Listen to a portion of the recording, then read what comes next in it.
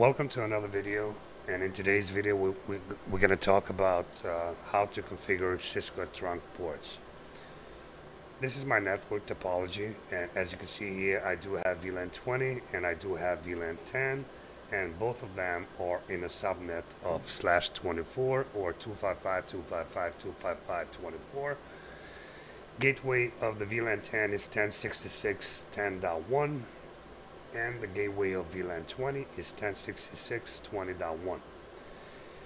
This is the fiber connection between two switches and I do have, actually this is four.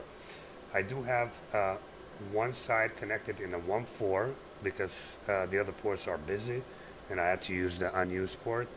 And in the other one, I do have an available port on uh, Gigabyte uh, 1. So this is a single mode fiber and then this is going through the SFP ports. And the laptop number one, let's say, is 1066.20.100, and laptop number two is 1066.10.100. In order for this laptop to reach this laptop here, it is another way of connecting both of them straight together. If you put a, let's say, a crossover cable, they can communicate together. But in my case here, I am going to use the trunk port, and that's the whole purpose of this video, to show you how to configure trunk ports. So from this laptop here, it's plugged in in one of the ports, available ports on the switch, and through the trunk port here, via single mode fiber, is going to communicate to this laptop right here, which is in a completely different VLAN. So VLAN 10 and VLAN 20 they are completely different subnet. One is 20.100 and the other one is 10.100. Both of them are subnet of slash 24. Without wasting any time, let's go back to the uh, switches and let's configure the trunk ports. And remember, this is for the Cisco switches, so basically you can do in any switch but the commands that I'm using here it might vary in a different type of switches such as like using Juniper or using Aruba switches. Uh, the, the, the commands is not going to be the same but it's the same philosophy though. Let's go back to the switches and see how we can configure uh, the trunk ports so VLAN 20 can reach VLAN 10 and vice versa. So as you can see here I'm using MobaXterm again and I'm gonna I'm gonna reload the the session and I'm gonna log into the switch one and also we are going to log in to switch number two. Okay so we're going to use show VLAN brief. I already created the VLANs for you and as you can see one of the laptop and this is the VLAN 20 is plugged in in the gigabyte number 5 and in the other switch which is switch number 1 in this case we're going to use show VLAN brief again. I created the two VLANs and I'm using the port number 48 you can use any port any available port that you have in the switch. So it doesn't mean to be 48 doesn't mean to be 5 any available port it's completely fine. So in order for this switch uh, to uh, this uh, laptop to reach there, we need to configure a trunk port. So to do so, what we're going to do is we're going to hit first show IP interface brief. And as you can see, my fiber is already connected and the status is up. So to verify that I can't reach the um, 20.100, I am going to open uh, a shell just to verify that I cannot reach the VLAN and minus T is a continuous ping so in this case right now I can't reach VLAN 20 from VLAN 10 so what also I'm going to use the the the command prompt from the workstation just to verify that we can't reach VLAN uh, 20, which is the IP 1066.20.100. So let's go back to the switch and configure the trunk port. config T to go to the configure uh, terminal mode. And here we're going to use the uh, this in my case is a 10 gigabyte. It doesn't matter because it can be a gigabyte. It can be a fast Ethernet port with a 100 speed, with a thousand uh, uh, megabit speed, and the 10 gigabyte uh, uh, speed. It doesn't matter because you can always adjust the speed and, and the duplex on the port to match the opposite port where you're trying to do the trunk. So here we're going to reach interface 10 gigabyte 1.1 and the command is super simple. We do switch, switchport, switchport mode trunk, and we do a no, uh, one more command, switchport trunk allow VLAN. In this case, I'm going to allow 1, 10, and 20. When I hit enter, these are the only three VLAN that are allowed to pass traffic through that port in the trunk mode. So if you have a VLAN 30, if I would have a, a VLAN 30 or 40, that won't be able to pass traffic through that trunk port. If you do, if you specify the VLAN on the switchport trunk mode, then only those VLANs that you program, it will uh, uh, pass the traffic to that port. So if you want to do uh, to pass the traffic to every single VLAN connected to the switch, then all you have to do is switchport trunk allow VLAN all, but that is not something that I would suggest because of the security purpose. And the last command is no shut. So switch number one is already configured.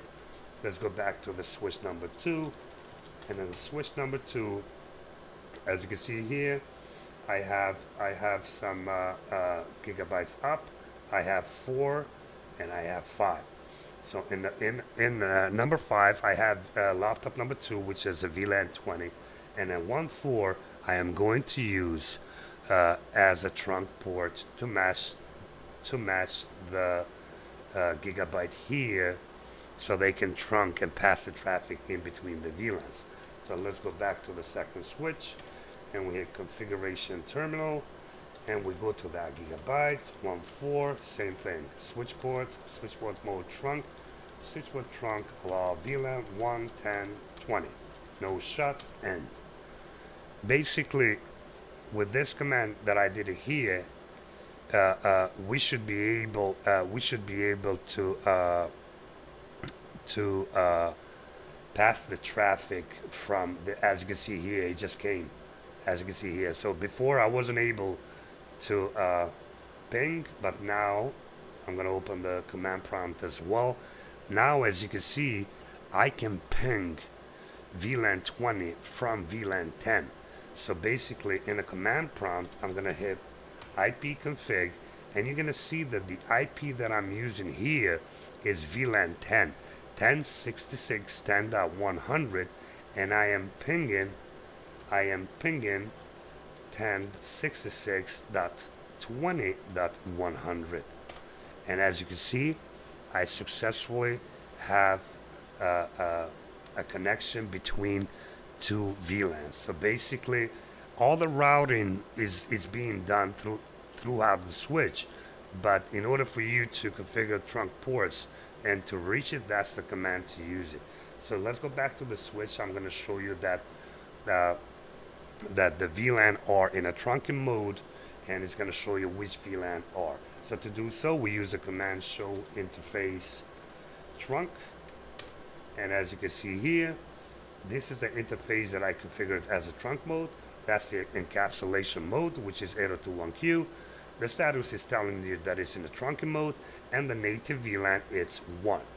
So the native VLAN uh, uh, for this, uh, I'm gonna I'm gonna say only one word. So uh, for those that are not familiar with uh, with a native VLAN, I suggest reading uh, a section in, in, in, Google or YouTube where it explains the the tagged and untagged VLAN. Basically, tagged VLAN is what I did.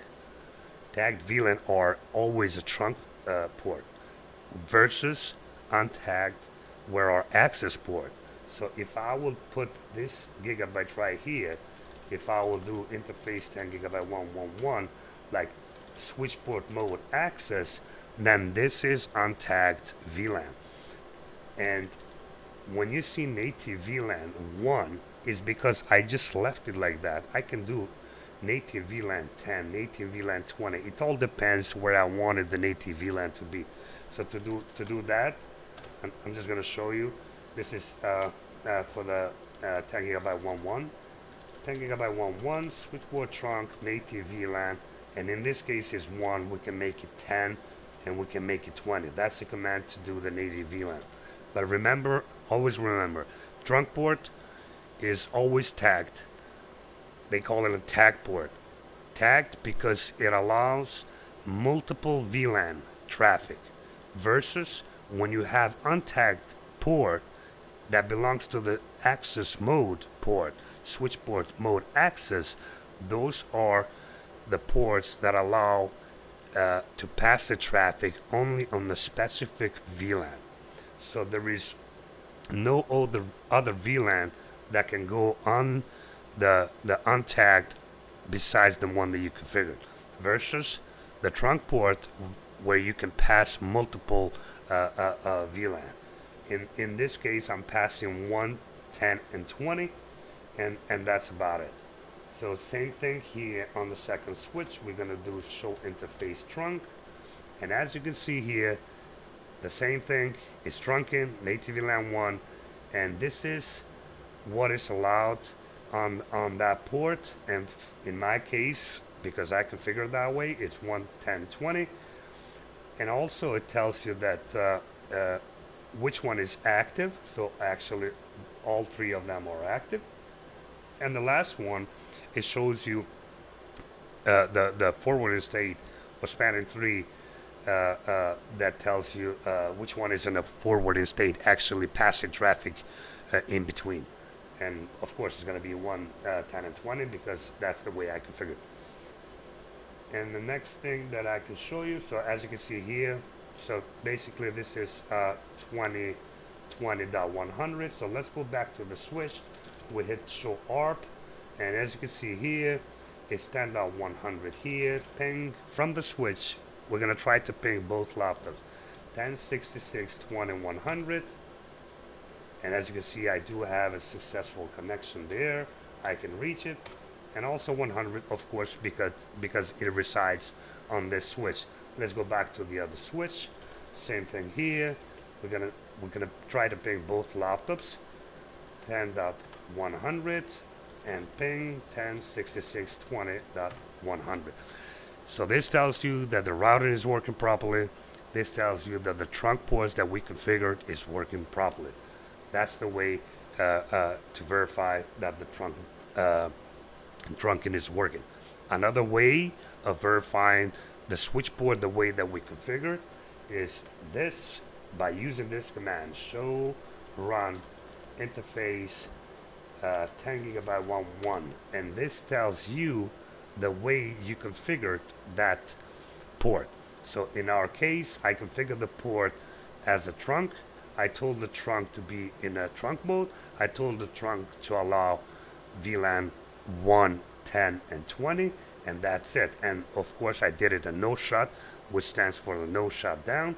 I just don't want the port to be in a, in a shutdown mode for any reason. Of course, it's not going to be showing on the CLI because that's the way it's designed. Also, in the other switch, we're going to hit show, run, interface, gigabyte 1.4 and you're going to see here that the switch is configured for uh, uh, trunk mode and also it allows the VLAN 1, 10 and 20.